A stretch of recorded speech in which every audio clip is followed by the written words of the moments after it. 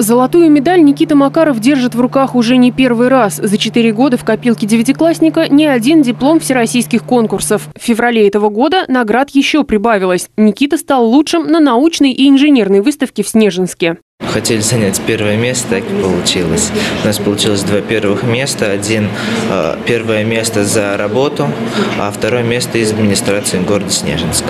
Победу Никите принесла работа по исследованию и оценке пребиотиков кисломолочных продуктов. В рекламе по телевизору то и дело говорят о пользе кефира. Школьник вместе с его научным руководителем решили проверить, не врут ли. Мы выявили подлинность и фальсификацию некоторых продуктов.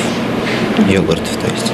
И оказалось, реклама не обманывает. Действительно, одинаково полезны не все йогурты, но какие именно, пока держат в тайне. Лабораторные исследования проводили в региональном управлении номер 59. Мы два раза в неделю бегали туда после уроков, и часов до шести мы там занимались. Все научные работы Никиты так или иначе связаны со здоровьем-сбережением. Так, девятиклассник уже проводил исследования крови, изучал пагубное влияние вредных привычек на живые организмы. Теперь вместе со своим руководителем решил посчитать количество рутина и кофеина в разных сортах чая. Над этим Никита и его учительница трудятся сейчас. Работа уже на завершающей стадии. Светлана Демина, Сергей Пруцкий, телерадиокомпания «Заречный».